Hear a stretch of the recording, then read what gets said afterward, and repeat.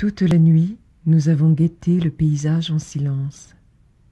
Il n'est de marche généreuse que ce retour à toute chose nommée.